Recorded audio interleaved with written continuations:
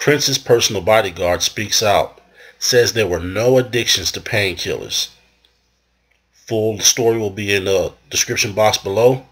This has been another daily briefing.